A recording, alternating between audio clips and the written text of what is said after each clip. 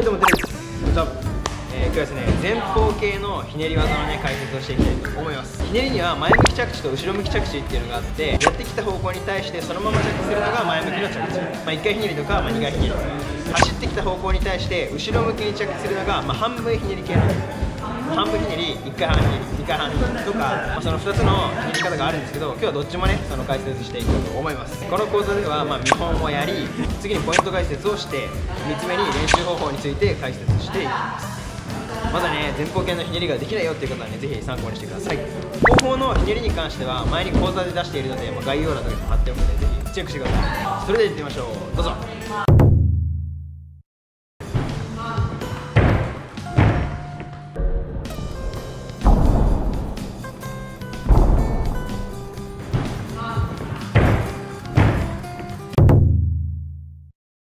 じゃあねあの前方の半分ひねりの解説をするとまず助走で走った時に踏切はちょっとこうやって蹴る。もしくは真上にでダメなのがこう流れてくる。流れて蹴るのはダメなんだよ。というのも流れて蹴っちゃうと高さが出なくなって残りも見えなくなっちゃうのであとね若干気持ちいいることによって高さを出してひねるっていう感じです最初こう足を仕掛けてジャンプしたらそこからあとはもう普通の前宙と同じです。ここからがポイントなんだけど普通の前宙するんだ普通の前宙した時にこう回ってきた時のお尻ですよね。お尻がこう上に来た時にひねりを仕掛けるっていう感じですであまりこうひねりを早く仕掛けすぎると、まあ、曲がっちゃったりして失敗してしまう。ちゃんとお尻が頂点を迎えてからひねるっていうように意識しましょう。でこうひねったらあとはもうずっとね着地地面が見えてるんで地面を見ながらこう回って着地をするっていう感じです。では次はあの練習方法について解説していきます。まずはひねりのねタイミングをつかむために前転でこうお尻が上がってきたところであここでひねるんだなっていうのをつかむ練習になります。前転してお尻がこう上がってきたところでひねりを、習はあここでひねるんだなっていうのが、まあ、なんとなく分かれば OK ですあとは、えー、トランポリンでの練習になります。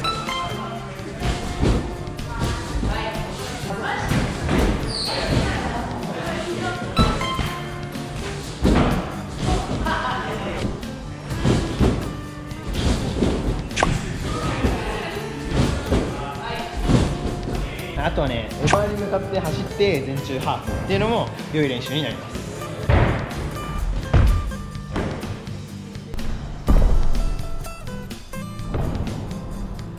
今みたいな感じでエバーで練習ができるようになってきたら次は普通のね地面でやってみましょう。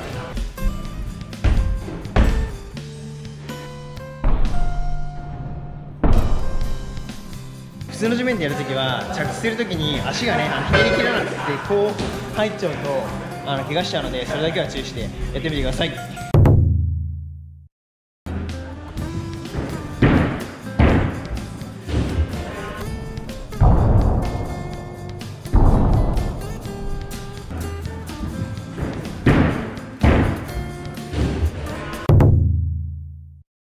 はいでは次は1回ひねりの解説していきます。半分ひねりは、まあ、なんとなくひねればできちゃったっていう部分もあるかもしれないんだけど1回ひねりはそうはい。しっかり自分でコントロールしてひねらないと1回ひねりはできないそこだけ注意してやる。でひねるポイントとしてはひねりかけの時に自分のひねる方向の肘を引いてで逆の手は分け出したりな感じです。でその時に目線は上とかじゃなくてちゃんとこの脇の下ぐらいかな。ひねる方向を見る感じでひねりかけていきます、まあ、1回ひねりましたそこからひねり切りの時に地面を見ながらこう着地に向かう感じです。その時に、まあ、自分は右ひねりなんで左手をね押して右手のこっちの手は開く。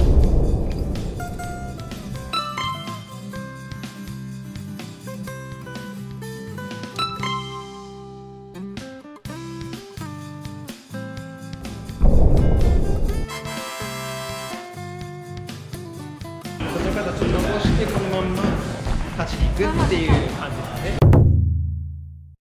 すね、練習方法なんですけど普通の半ひねりと同じ練習をやって、まあ、1回その中でね1回ひねりで、えー、立てるようにっていう練習をしていきましょう。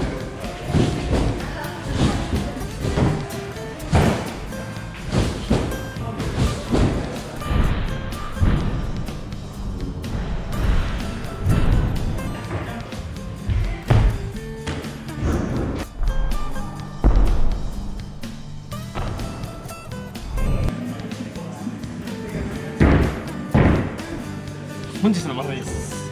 えー、今日は前方系のひねりについてやってきました。しっかり上に飛んでお尻が上を通過してからひねるっていうのを大事にしてひねってみてください。トランポリンとかエバーを使って、まあ、徐々に徐々にね練習して、まあ、最終的に普通の床でやるっていうようなのがいいと思います。はい。そんな感じですね。今日の動画ではクロバット技についていろいろね解説しているので、まあ、ぜひねあの概要欄に貼ってあるので見てみてください。チャンネル登録高評価よろしくお願いします。今日この動画でバイバイ